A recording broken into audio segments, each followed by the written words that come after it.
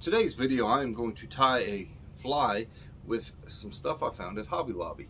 It is called Fur the Moment and this one is a chocolate brown. It's kind of like a variegated, almost like grizzly hackle looking stuff. But anyhow, it is bee yarn Fur the Moment. It's $5.99 for 62 yards. And this stuff is pretty awesome. What I'm going to do is I'm going to tie basically like a traditional zonker just with this material. And you can see it has a lot of the same characteristics it just doesn't have the leather hide of it. So I'm going to show you guys how I've tied this and how I've used it it works great. And there's some several methods that you can do with this but I'm going to show you the way I've been doing it. I've got a number eight hook which is just a streamer hook.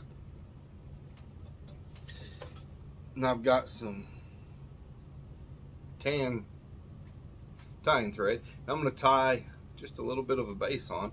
Now here is where you can make this thing different. If you want it to sink really, really fast, this is not as heavy as the leather. So you can lead wrap the base of your hook or you can put a cone head on your hook if you need to. But I want mine to have a very slow sink rate, so I am going to just leave mine natural. So what I've got is a little piece of the yarn that I have cut off I'm going to tie that into the base and I don't care how furry this thing gets because I kind of want a little bit of a body build up on it anyhow.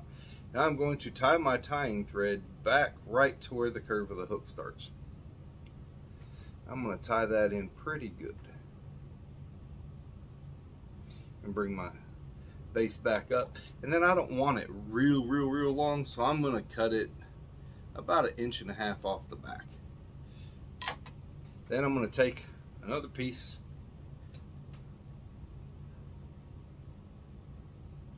I'm going to cut that.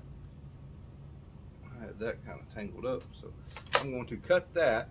What I'm going to do is I am going to tie this in and bring it all the way back to where I stopped my thread on the first time and then bring my thread forward.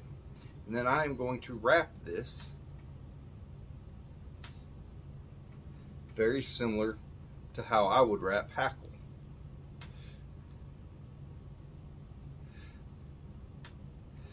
And build a pretty good little body on it. Oh, lose my whip finisher in the process. When I get that tied to the front, I'm gonna bring my string off my tying thread. Then I'm going to tie that in and I'm going to cut the remainder that I have off. Then I'm going to pull this back and basically tie in a little bit of a head to where it's kind of pointing towards the rear. And I think it represents a mouse pretty good, so if you wanted to glue some eyes in, you could. If you wanted to make it with some dumbbell eyes, you could easily do that as well and make it to where it appears as a mouse. I've took it out on my pond just to see how effective it would be, and the bass really liked it. I, I didn't have very many casts where I didn't have a hit with it, so I think it will be super effective.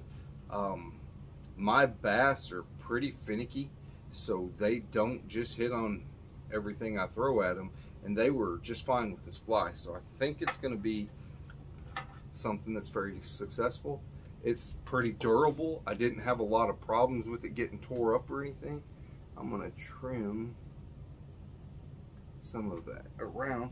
And then I just pull it towards the back just as such.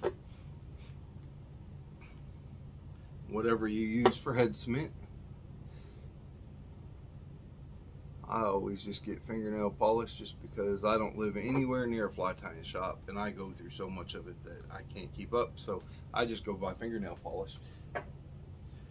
When I put it on there, I put that on there pretty thick. So I want to come back through and clean out my